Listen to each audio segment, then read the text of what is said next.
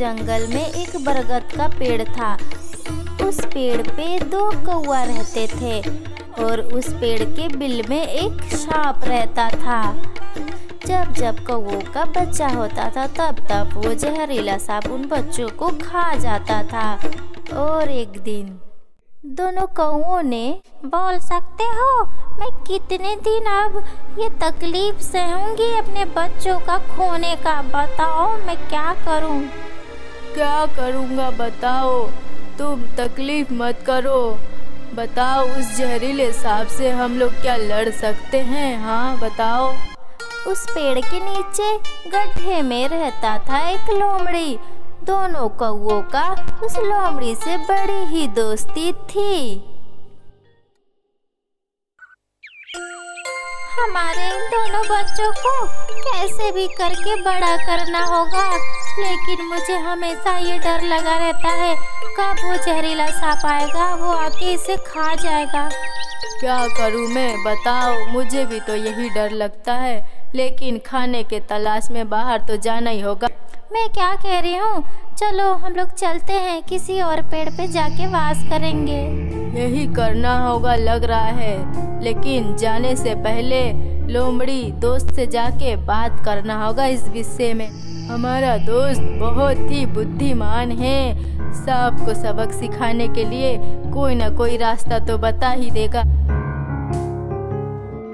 तुम लोग अपना घोसला छोड़ के जा रहे हो, इसका मतलब तुम लोग सांप के सामने हार मान गए। लेकिन दोस्त, हम लोग तो उस जहरीले सांप से नहीं लड़ सकते। अरे दोस्त, तुम्हारे पास शक्ति नहीं है तो क्या हुआ? दिमाग तो है ना? दिमाग के आगे शक्ति कुछ नहीं। उस लोभी सांप को तुम लोग चतुरता से ही सबक सिखा सकते हो समझे दोस्त? कैसे दोस्त? सुनो तो फिर।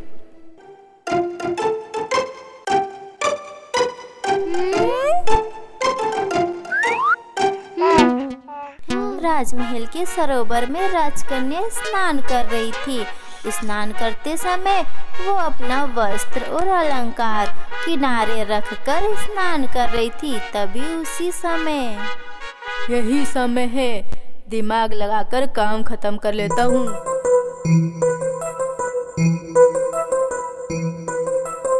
अरे अरे अरे ये कौआ मेरा हार लेके चला गया कौन? कहीं हो क्या? क्या हुआ? क्या हुआ राजकुमारी? जल्दी से जाके उस कौए को पकड़ो। मेरा हार लेके चला गया है वो। अभी लेके आ रहे हैं। ओए, ओए, ओए, रुक रुक रुक रुक रुक रुक कौवा रुक। कहाँ जा रहा है? रुक रुक। अब मैं अपनी आखिरी काम खत्म कर लेता हूँ अब तुम्हारी खेल खत्म। कहाँ गया? पेड़ के बिल में हाथ डाल दिया है हाँ। लाने चलो। इसमें तो एक जहरीले सांप है। सांप है तो क्या हुआ? डंडे से मार दे।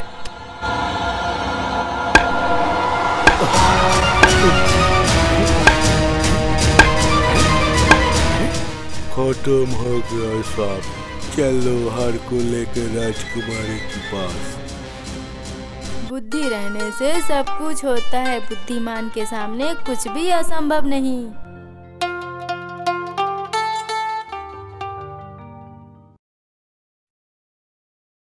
देखिए गोपाल भांड ये है गोपाल भांड।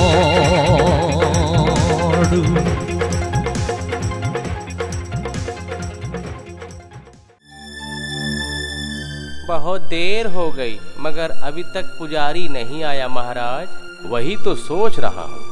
मैं थोड़ा आगे जाकर देखूँ महाराज। ओह, कितनी गर्मी है। प्यास के मारे गला सूख गया है। जाता हूँ पेड़ के नीचे बैठकर थोड़ा आराम कर लेता हूँ।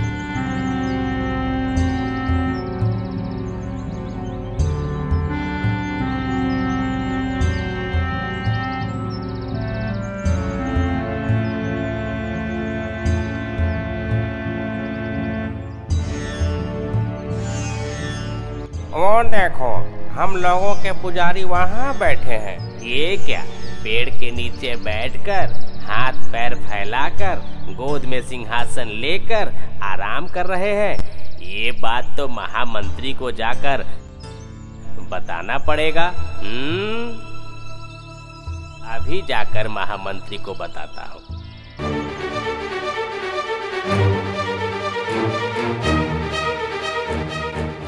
नहीं नहीं नहीं नहीं नहीं। ये क्या बोल रहे हो? आने दो पंडित को। बताता हूँ। हम्म। प्रणाम महाराज। आने में थोड़ी देर हो गई। चलिए, अब पूजा शुरू करते हैं। आज से आप अपना पूजा करने का अधिकार खो दिए। लेकिन मेरी गलती क्या है महाराज?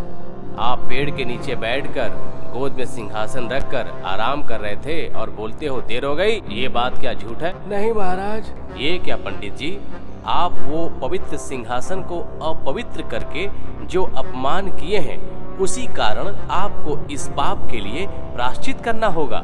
और जब तक आप अपने पाप का प्राश्चित नहीं कर लेते तब तक राजमहल में पूजा एवं पूरे नगर में भी आप पूजा नहीं कर सकते। अगर आप कहीं पूजा किए तो आपको मृत्युदंड दे दिया जाएगा। हम्म।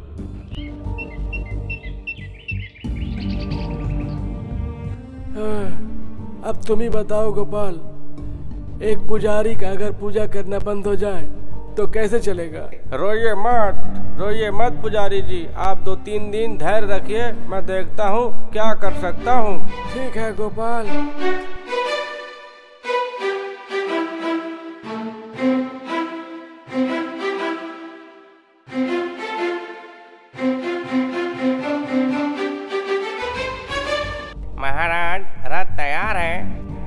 चलो गोपाल थोड़ा घूम आते हैं। चलिए महाराज।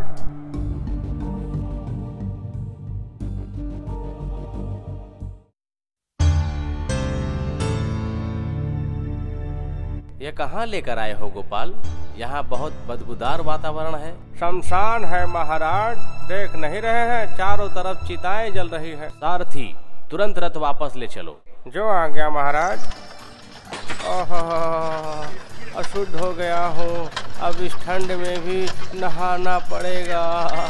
आपको भी और हमको भी। क्यों? शमशान में जो मटका था लग रहा है वह चिता बुझाने वाला मटका था महाराज। रात तो एक वाहन है।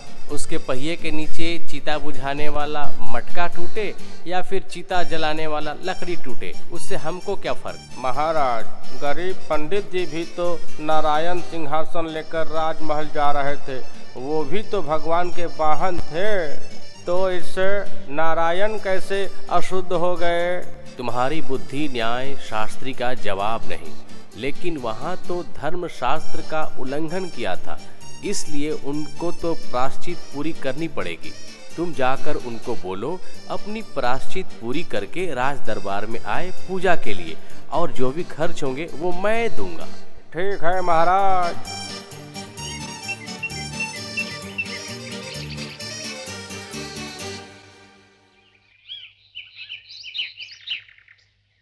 सचमुच गोपाल, आज तुम्हारे वजह से मैं फिर से पूजा पाठ शुरू कर दिया। तुम्हारा ये कर्ज मैं जीवन भर नहीं भूल पाऊँगा गोपाल। ज़िंदगी में नहीं भूल पाऊँगा।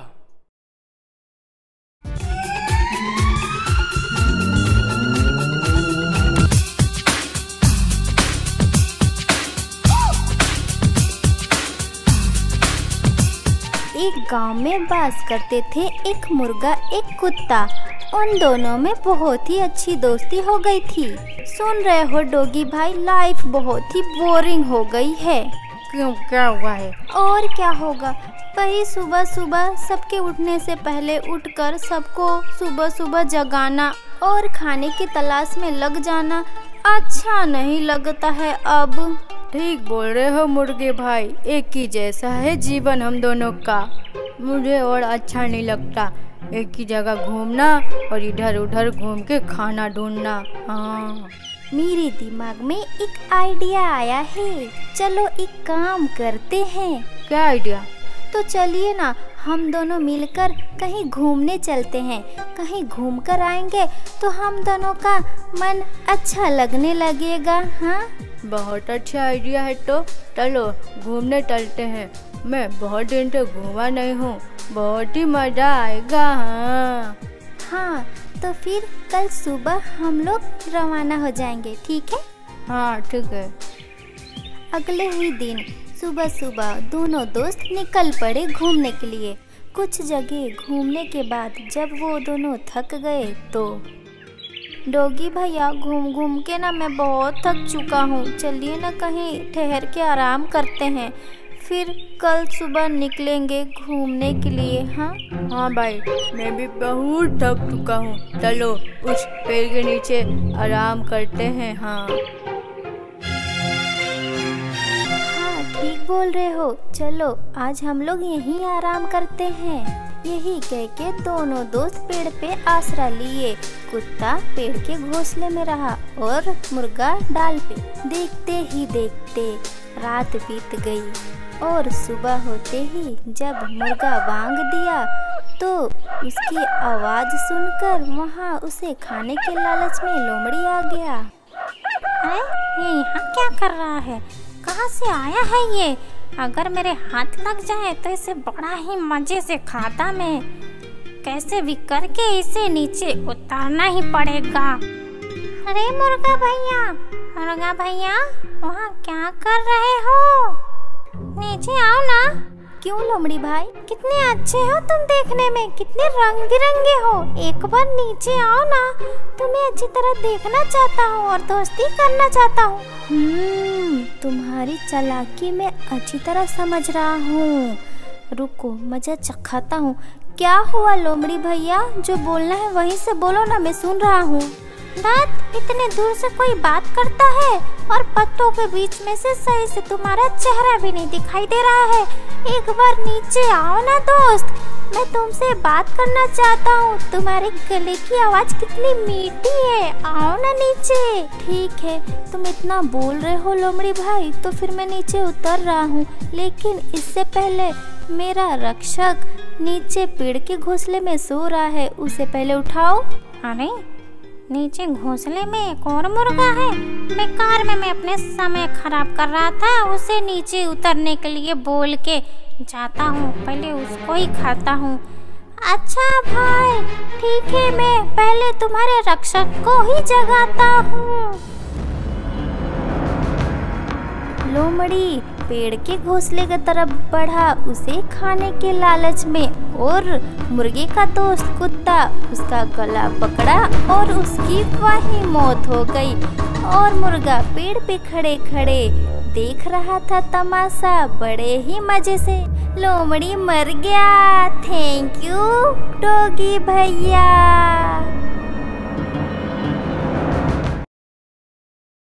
देखिए गोपाल भांड।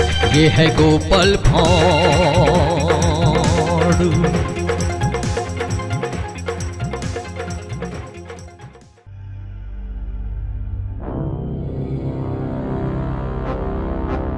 महाराज सर्वनाश हो गया है। क्या हुआ है? आपकी दी हुई हीरे की अंगूठी मिल नहीं रही है महाराज। क्या? तुमने मेरा दिया हुआ उपहार खो दिया? इसके लिए कठिन से कठिन सजा मिलेगी। महाराज जो मैं गलती की हूँ उस गलती की सजा अब जो देंगे मैं सर झुका के लूँगी महाराज। तो ठीक है इसी क्षण तुम मेरा राजमहल त्याग कर चली जाओ। महाराज। यही मेरा आदेश है। आज रात में ही तुम राजमहल छोड़कर चली जाना।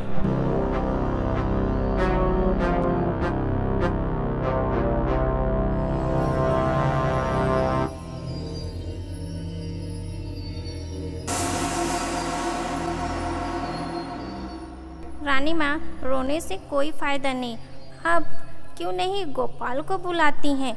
उनसे बोलकर देखिए वो हो सके तो इस समस्या का कोई समाधान ढूंढे। हाँ बात तो तू ठीक बोल रही है। तो फिर जा जल्दी से गोपाल को बुला के ला। अभी जा रही हूँ रानी माँ। हम्म, बहुत दुख की बात है। रानी माँ, ठीक है, मैं देख रहा हूँ, मैं कहाँ तक क्या कर सकता हूँ। नहीं, गोपाल, एकदम नहीं। तुम जितनी भी विनती कर लो, गोपाल, आज मैं तुम्हारा बात नहीं सुनूँगा। रानी को जो मैं सजा दिया हूँ, वो सजा बरकरार रहेगी। हाँ रानी जाते समय उसका जो प्रिय होगा, वो ले जा सकती है। यह बात रानी को बता देना। ठीक है, महाराज।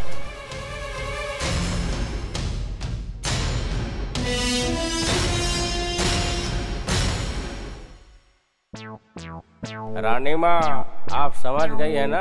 आपको क्या करना होगा? हाँ गोपाल। ठीक है ठीक है। तो रानी माँ अब आप इधर संभालिए और मैं उधर जाकर संभालता हूँ। ठीक है गोपाल।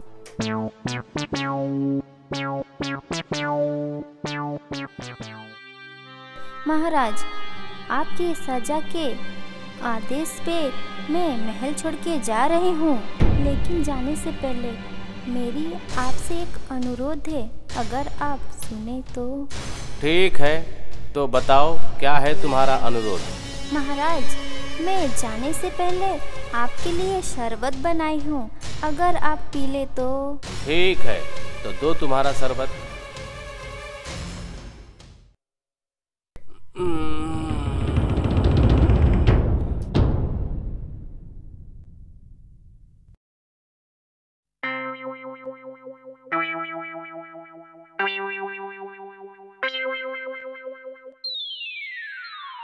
रानी पालकी तैयार है। अब आप आइए। और महाराज? अरे आओ तुम लोग।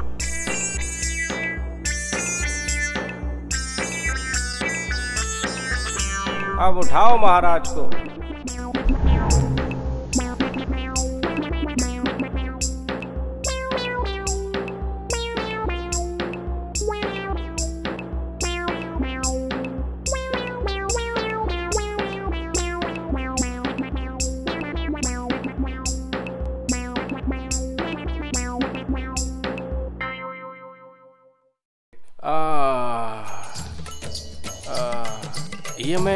कहाँ गया? ये तो मेरा राजमहल नहीं है।